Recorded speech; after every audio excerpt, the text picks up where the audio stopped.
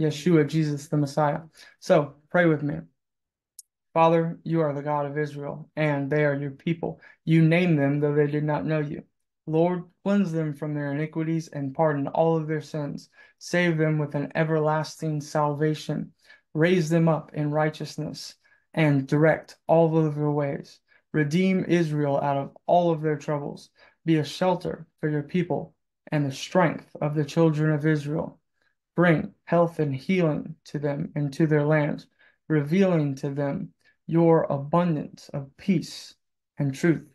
Let the eyes of their understanding be enlightened. Give them the spirit of wisdom and revelation in the knowledge of you.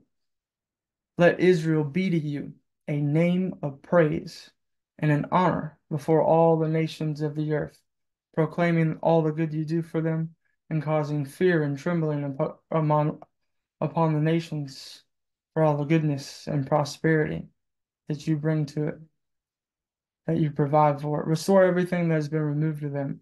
Send them grain and new wine and oil to satisfy them, and make their enemies to be at peace with them, and no longer let them be a reproach among the nations. Seek out your sheep and deliver them from the peoples and countries where they are scattered, and bring them to their own land. Yes, Father, I pray for the peace of Jerusalem. May they prosper that love you, Lord.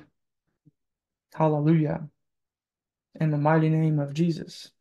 Thank you, everybody. God bless you. God bless you. Share this with your friends. Bless Israel a hundred billion times in the mighty name.